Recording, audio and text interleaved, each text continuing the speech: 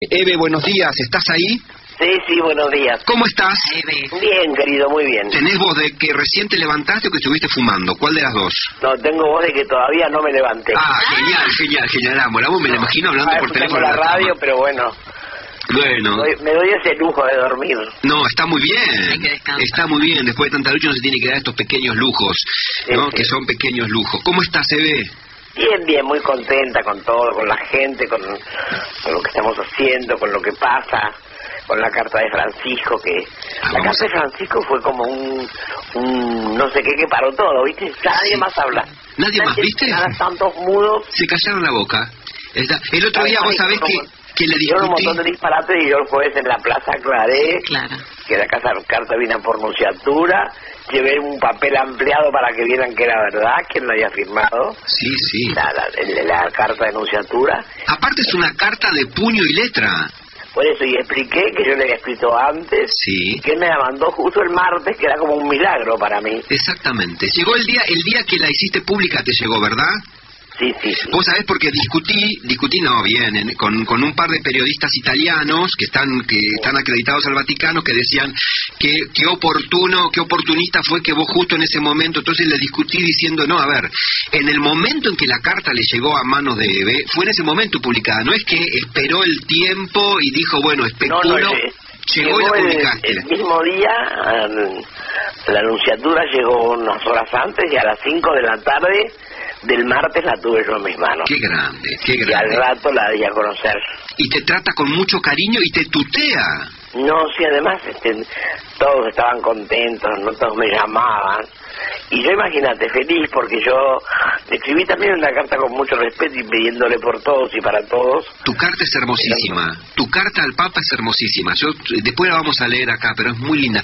¿Sabés qué es una es una carta con, con mucho cariño, con mucha sensibilidad, ¿no? Eh, que me parece que para pedir para todo un país eh, hay que pensar un poco lo uno que uno va a escribir y cómo uno se siente. Y a mí se me ocurre este, pedirle a papa, al Papa por mí, porque la verdad que viven 40 millones en esta patria.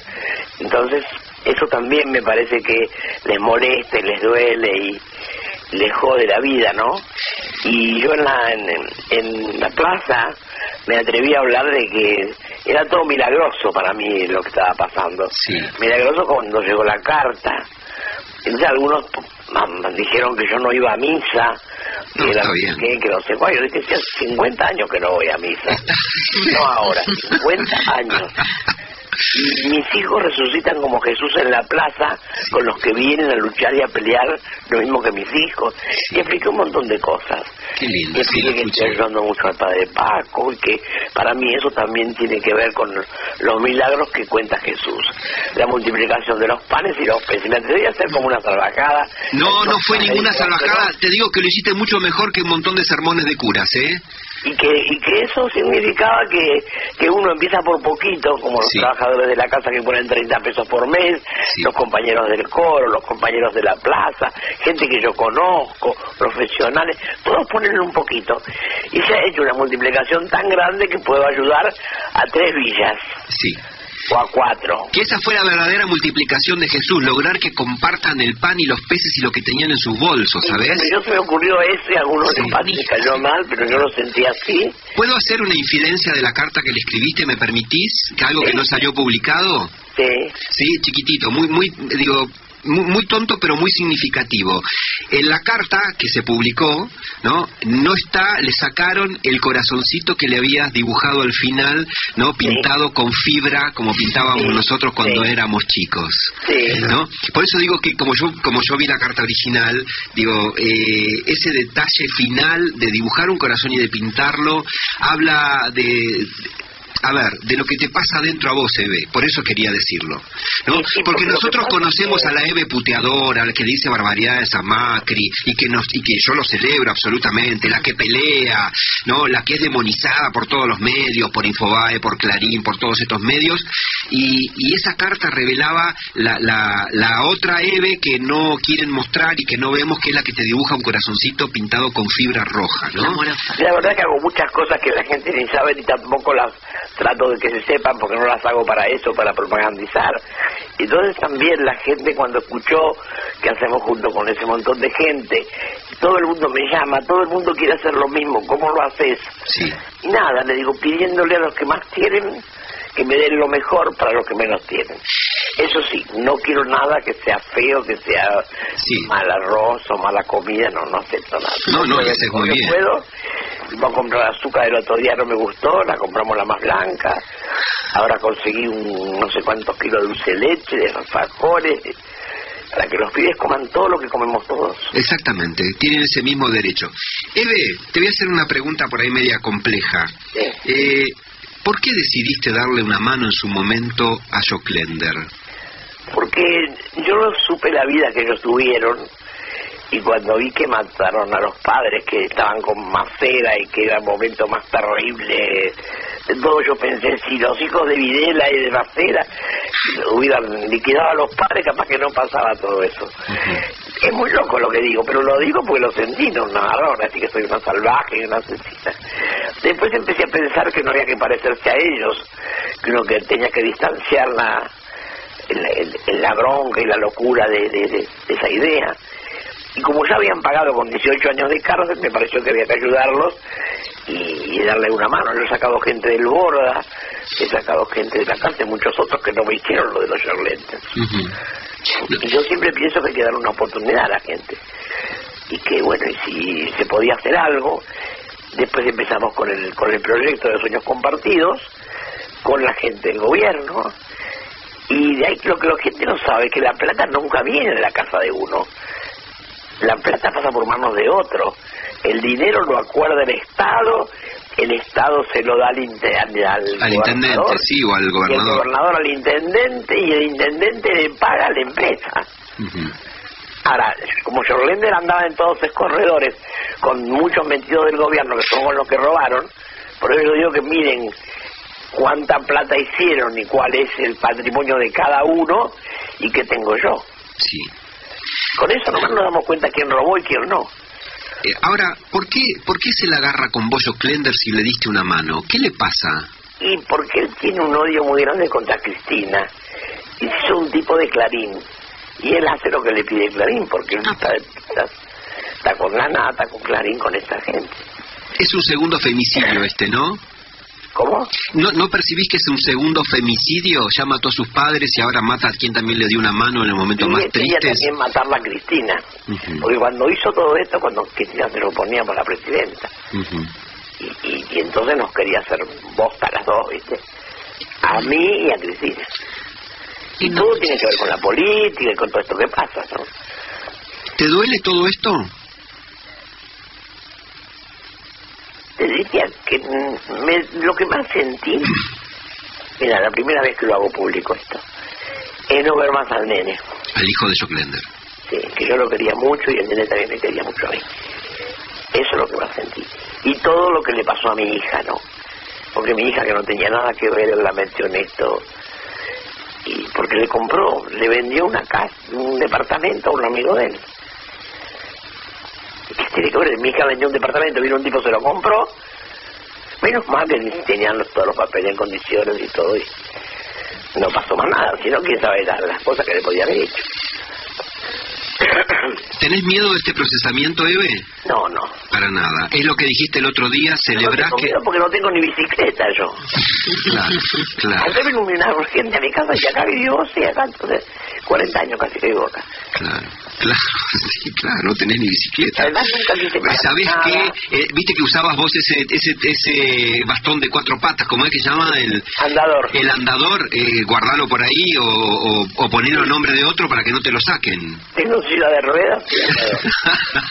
bueno, en una de esas te incautan la silla de rueda. Qué terrible, qué terrible. No, sí, pero no lo hacen para para ensuciarme, para que la gente que me quiere no me quiere, y la gente me quiere cada vez más. Sí. Cada vez tengo más ayuda para, para ayudar a los chicos, cada vez viene más gente a la plaza, cada vez viene más gente a los actos que vamos, y eso muestra que la gente sabe quién soy.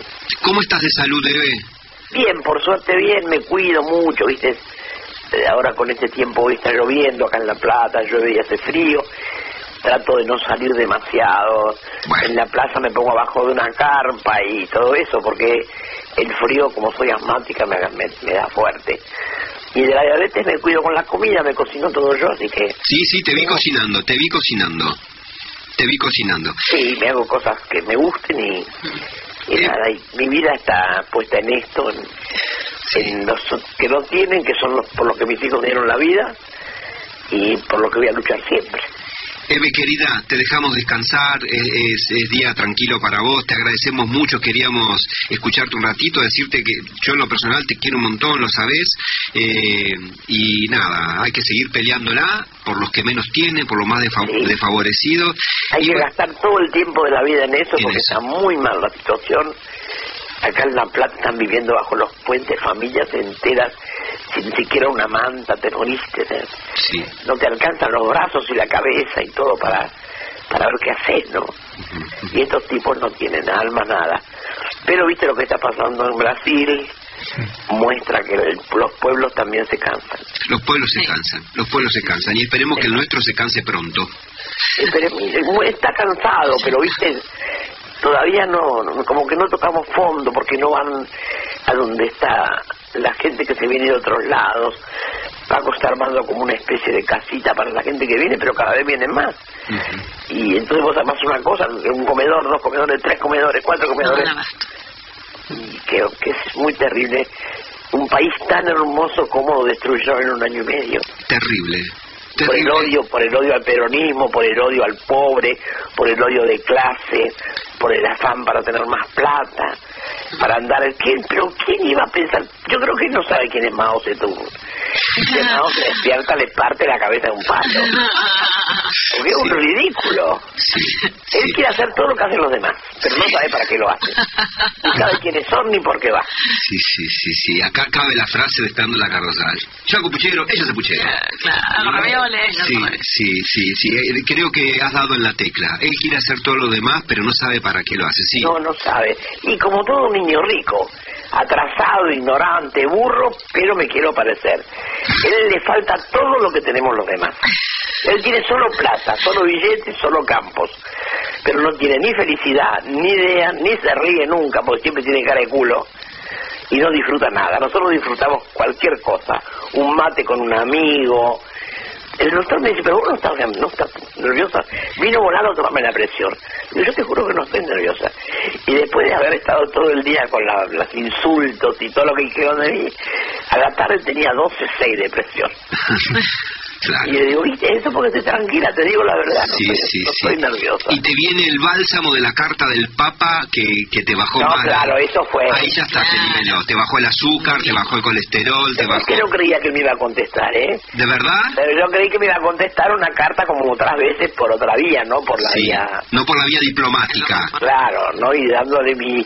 Y larga, porque siempre me decían pequeñas cosas. Sí, siempre decía con mucho con mucha prudencia y nada más. Esta vez te tutea, dice cosas lindas, habla de tu lucha como madre y lo que sentís como... Y sabes qué, y se pone a disposición. Sí. Y yo creo, conociéndolo... Eso lo que le dio mucha bronca a todo. Sí, sí, sí. Y yo conociéndolo un poquito a, a, Francisco, eh, que la haya mandado vía diplomática, que la haya mandado vía anunciatura, que no la haya mandado vía, viste, qué sé yo, eh, alguno que va para allá y te la trae medio, eh, que, que la hace menos creíble, me parece que decidió, ¿no?, que la iglesia esté involucrada en este acompañamiento, que el episcopado se calle un poquito la boca y que la anunciatura se ponga a disposición. Me parece que como regalo le hice a las madres una carpeta con mi carta y con la de Francisco, porque estaban todas enloquecidas. A todas las madres les hizo mucho bien. Y algunos compañeros dicen, ¿no me das la carta? Sí, ¿cómo no? ¿Por qué no? ya la hice pública.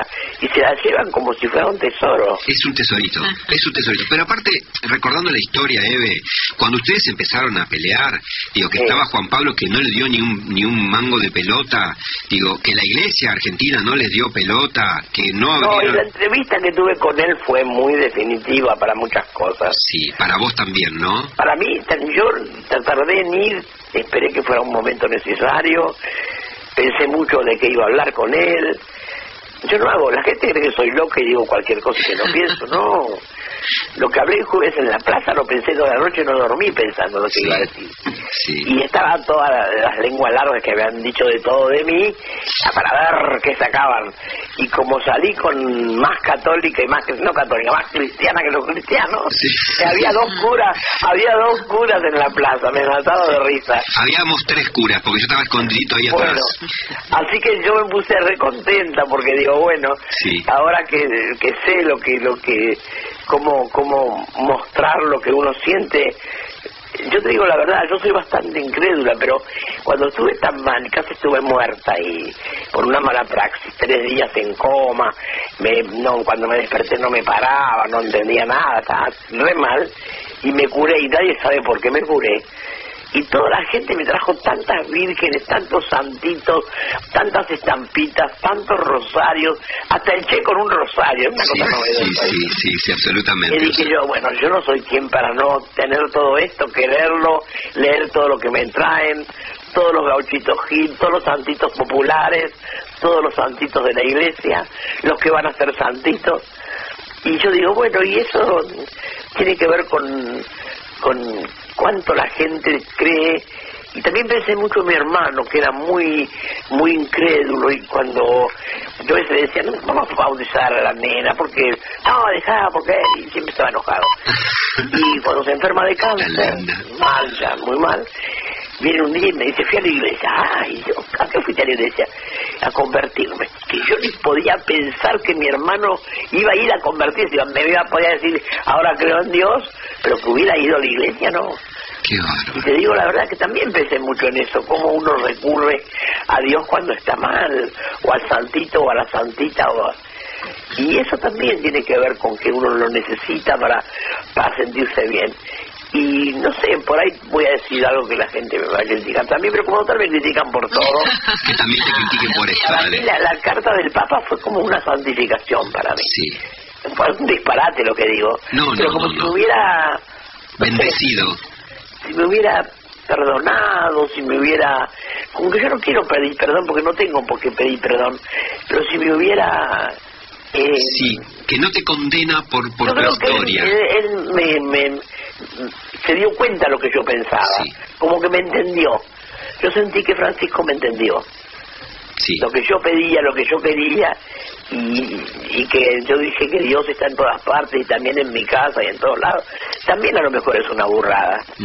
Pero es lo que siento, que no, no, no, la gente, no, no, es una burrada, ¿eh? No es una burrada. Yo, yo lo que a veces le digo a la gente que, que, que, que qué sé yo, que están tan, tan mal y tan con todas las cosas.